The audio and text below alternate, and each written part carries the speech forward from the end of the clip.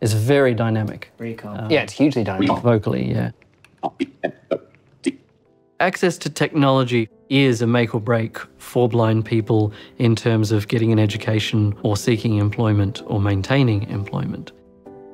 In order for a blind person to use a computer, they need special software called a screen reader, which is software that reads all the text on the computer screen. Actually, how many tracks are there? 12 tracks. Oh, dear. Screen reading software was extremely expensive, costing more than $1,000. We always used to wonder why do blind people have to pay so much money when in fact many blind people are unemployed?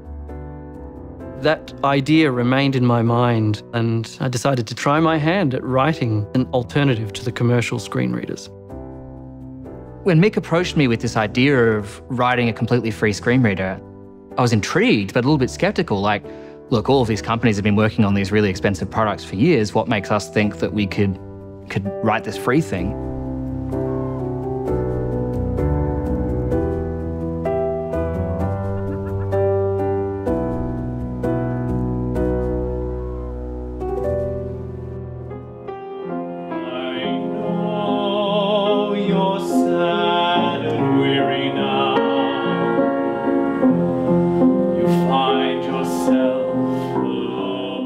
Mick and I met at Braille Music Camp, which is a camp for blind and vision impaired people who were reading Braille music. We hit it off instantly. Obviously, there was an interest in music, but perhaps more importantly, in some ways, was we both had this huge interest in technology as well.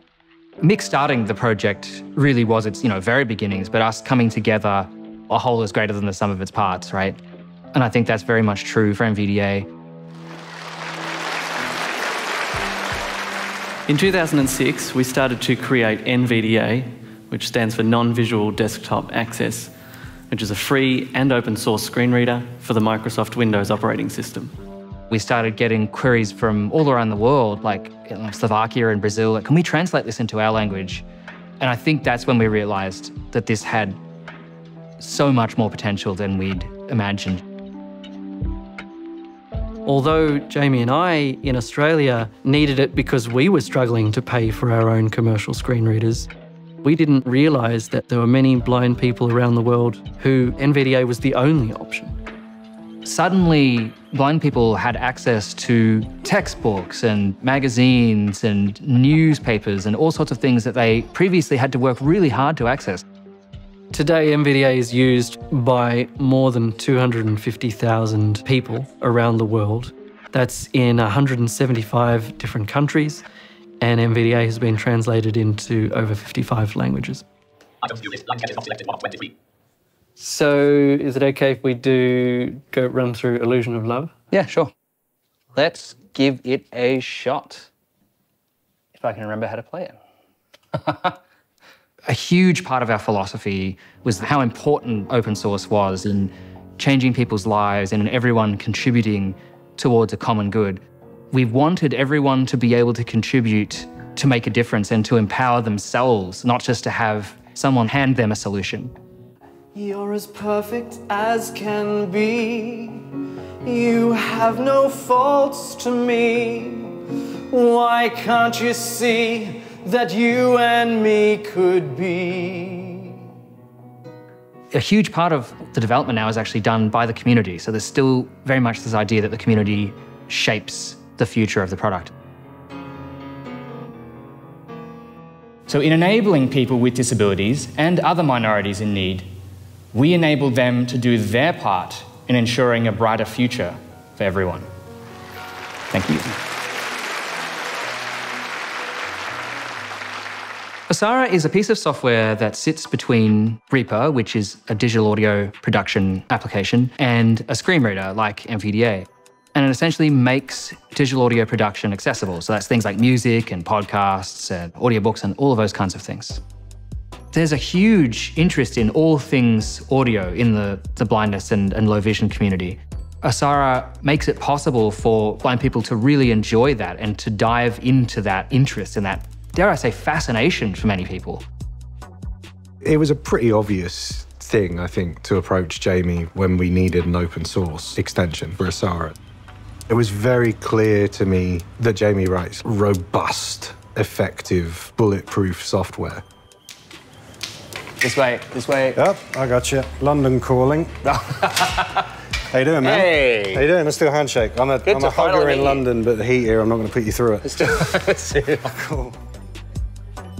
I got involved with OSARA. Uh, I guess you would call me like part of the catalyst of it. I got in touch with Jamie and I just kind of bugged him to take a look at the Reaper API like a bunch of times. I'd love to get your thoughts on the current drum mix for this Yeah, piece. yeah, yeah. I've got Reaper open at the moment, so we can start with audio and then I can, yeah. yeah, all right. There are many jobs that are closed or at least difficult for blind and vision impaired people. So if we can take something that they could potentially have an edge in, then that's something that should absolutely be made real and possible. quite often when I have a new client come into the studio, they may or may not know that I'm blind before they arrive, and quite often they don't. They'll get here, and their first 10 minutes of them trying to figure out what's going on, and then they're trying to figure out why the computer is jabbering away in the background, and it can change their perspective on what blind people can do. Check, check, check. We're here in the studio with Nick Gill and Matt McLaren, and we're going to record some tunes. Sweet, here we go. One, two, three, and. Reaper is the digital audio workstation that I use to do my job. And then OSARA translates what's happening on the screen into a usable format for me. So I can take it in and then make adjustments or know what's happening on the screen.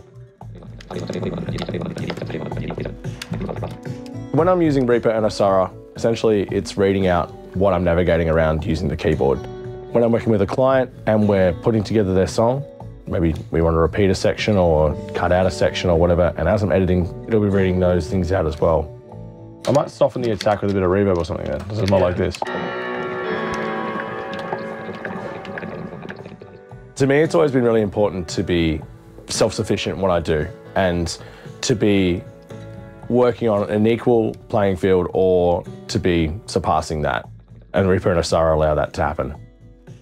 It's hard to imagine what the landscape of audio production for people that are blind would look like without Jamie's contributions. There's a lot of people using this software who would not have access to recording software. We need more blind people out there working, and there's no reason these people can't be working and achieving what they want to achieve. It all comes down to access and people's view of what blind people can do. You've got something going on. I think we've got the verse. That was great, man. Nice job, dude. Thanks. You can come out. So, Mick, I feel like there's a lot of like parallels in terms of how NVDA and OSARA have happened, but also where they've landed and how they've learned from each other. Starting a tiny little project has, you know, not only obviously affected people's lives in a practical sense in terms of, you know, getting them in education and employment and things, but but also just giving these developers something something to do, something to really associate themselves with. Popping up in all sorts of places, Yeah. man. Like, um, I didn't realize how many people in the BBC are using it, for Oh, example. wow. Really? Yeah. Wow. There's a bunch that's of them cool. now. Cool. That is cool. Yeah. Knowing that there are blind people around the world doing really cool things, running their own successful studios, their own self run businesses, thanks to NVDA and Jamie's Osara. It's amazing. I was born with a lot of medical issues. Doctors really didn't know whether I was going to survive. In fact, they made a choice to keep me alive when I was one day old. And so that has been a real driver, almost been this meaning for my life that I was given a chance. And so, therefore, anything that I can do to make a similar impact for others really invigorates me and gives me meaning. Everything that we do should ultimately be you know, empowering other people to make the world better. I mean, that's how you force multiply, how you make something small into something much bigger that honestly just makes the world better for everyone.